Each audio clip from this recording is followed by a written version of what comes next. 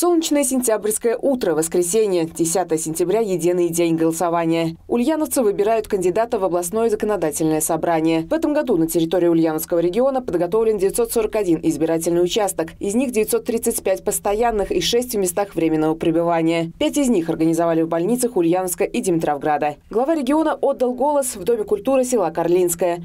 После традиционной процедуры Алексей Русских обратился к ульяновцам. Сегодня мы определяем будущее области, как область будет развиваться, с кем мы будем ее развивать, а, с какими мыслями, с какими настроениями, с какими планами.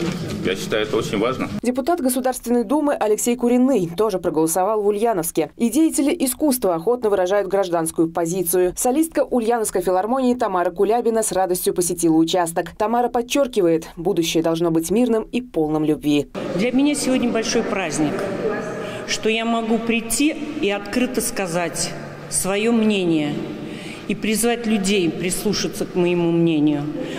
Я сегодня отдаю свой голос за мир во всем мире.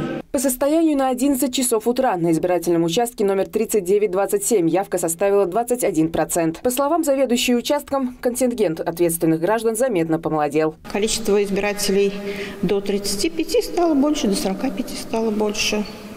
Ну, наверное, участковая избирательная комиссия располагается в школе, соответственно, родители. Это тоже немаловажно. Пенсионер Анатолий Полифертов мечтает о светлом будущем. Он отдал голос за кандидата и партию в надежде на здоровую стабильность и положительные перемены. Я бы хотел, как раньше было, когда мы жили еще в юности, потом старше, не старше. Тогда легче, легче было. Что-то ждали, что-то было впереди. А сейчас не ждешь, что впереди. Все хуже и хуже с каждым годом, даже днем. Напомним, избирательные участки открыты с 8 утра до 8 вечера. Виктория Черкова, Геннадий Бухтаяров. Улправда ТВ.